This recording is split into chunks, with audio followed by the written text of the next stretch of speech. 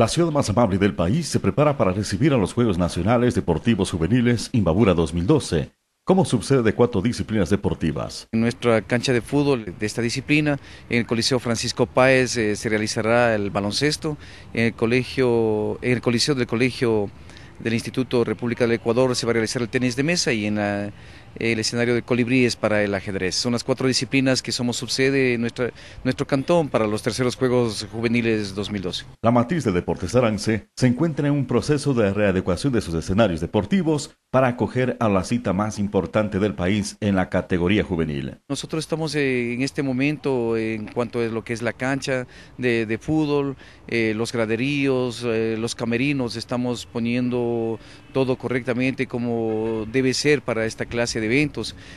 por lo demás, el marcador electrónico, el día viernes lo estamos colocando el, otro nuevo, ¿no? para que tenga tener nosotros en nuestro escenario los dos marcadores 24 segundos, también está correcto la cancha en sí mismo, el parquet está de igual manera, colibrí a punto y el escenario que ya llevamos incluso las mesas eh, para que se realice el tenis de mesa en el colegio Jorge Raura del Instituto República del Ecuador. Otavalo también aporta con valiosos deportistas para nuestras selecciones de Imbabura. En las categorías menores, prejuvenil y juvenil, siempre nosotros aportamos alrededor un promedio regular de 30 deportistas en todas las disciplinas.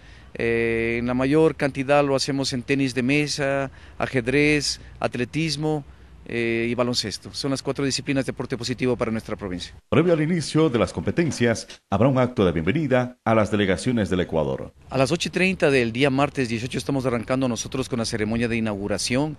Estarán presentes sanqueros, los pendoneros, eh, mostrar nuestras danzas tradicionales, eh, Luisito, que es característico de nuestra ciudad, igualmente de la... ¿Luisito Jaramillo?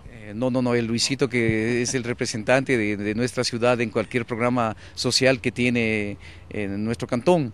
También estará eh, danzas eh, y haremos una ceremonia de inauguración con autoridades, eh, deportistas. le queremos dar un colorido a la banda municipal. Será un, como le dije hace un momento, una, una, fiesta deportiva y esperamos que el éxito, porque también estamos invitando a los colegios, las instituciones educativas. De esta manera, en Otavalo se afinan todos los detalles para el desarrollo de los terceros Juegos Deportivos Nacionales Imbabura 2012. Con imágenes de Alex Godoy, Hugo Bolilla, Travesía Deportiva.